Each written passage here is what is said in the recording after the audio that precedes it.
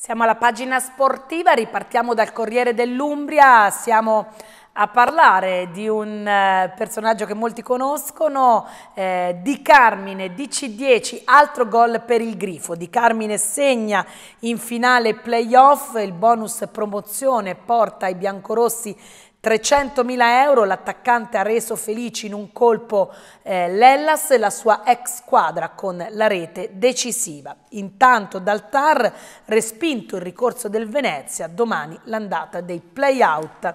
Andiamo a parlare di volley Superlega. La SIR festeggia la Coppa Italia entro il mese in programma due serate celebrative perché dicono il successo di Bologna vale doppio. Mondiale per club prende corpo la formula con finale secca in campo neutro. E poi la questione, la crisi del volley. Il problema è legato ai palazzetti. Parla Iannuzzi di S di Orvieto, un vero peccato, così si disperde un patrimonio cresciuto nel tempo. Sirci riconosce le difficoltà difficoltà delle strutture sportive ma applaude alle decisioni di Spoleto d'Orvieto, dice un atto di coraggio. Per il ciclismo all'Ama il Memorial Adolfo e Franco Celestini, eh, sfide da domani, giovanissimi e juniores e poi basket di A2 femminile, siamo ad Umbertide, Primo colpo per la PF eh, Umbertide, alla corte di Contu arriva De Cassan.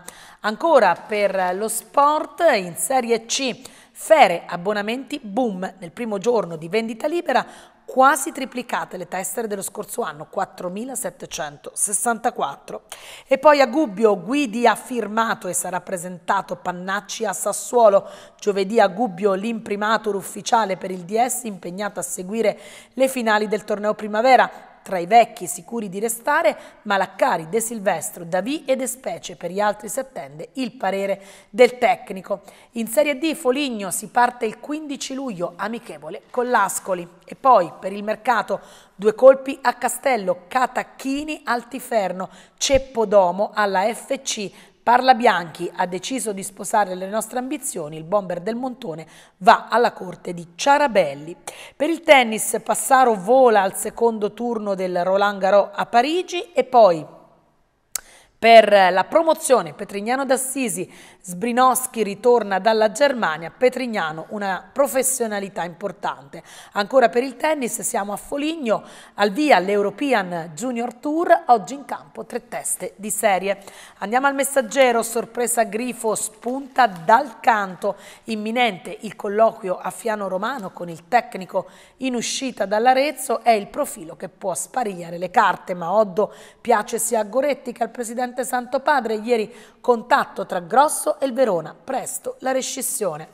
Roland Garros, Passaro riparte dal doppio e poi per il mercato la Val di Ceppo cerca i lunghi, Foligno ed Assisi, parliamo ovviamente di basket, prima eh, confermare i big. Ancora dal messaggero, Parliamo di volley, Sir Bernardi, vertice decisivo, tante voci, nessuna ufficialità, un faccia a faccia in questi giorni potrebbe portare ad un chiarimento sul futuro del coach. Il mercato rimane fermo sulle indiscrezioni, manca l'ok per Russo e eh, Plotniski, speriamo di averlo letto bene, in bilico anche Tat e Zukowski. Andiamo, torniamo al calcio. Foligno, Colarieti in difesa può essere il primo colpo e in eccellenza la Ducato cerca un big in mediana. Per il ciclismo GP Santomero, Pantalla d'Argento. Andiamo alla Nazione, il suo inserto sportivo. Grifo Panchina, il nome nel weekend, nel fine settimana la società annuncerà il nuovo tecnico, Grosso ad un passo, Oddo a confronto e poi i verdetti Verona va Venezia e Salernitana ai play-out. A Pian di Massiano oltre 300 bimbi grifoni per un giorno, un'iniziativa del club e poi eh, per il volley faccia a faccia Sirci Bernardi, incontro decisivo nel weekend. A Terni vanno benissimo gli abbonamenti per la Ternana e poi ancora per il calcio Luca Ubaldi approda a Castel del Piano. Ancora calciomercato in Serie D siamo a Foligno con la Rieti sempre più vicina al Foligno. Per il tennis, sempre da Foligno, Europe Junior Tour, l'esordio umbro è col fiatone al torneo internazionale subito fuori lavoratori e la Gradassi. Queste le pagine sportive, pochi secondi per la copertina del nostro medio.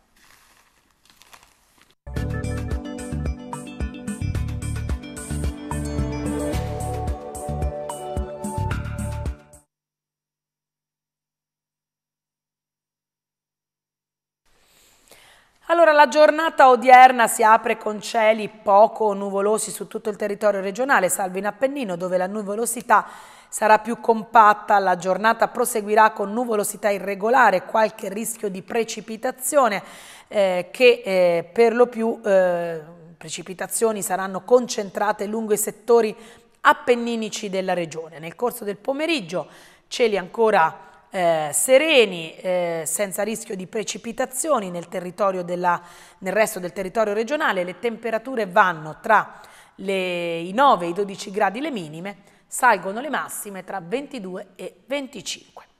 È tutto per questo appuntamento, grazie per averci seguito, a voi una buona giornata.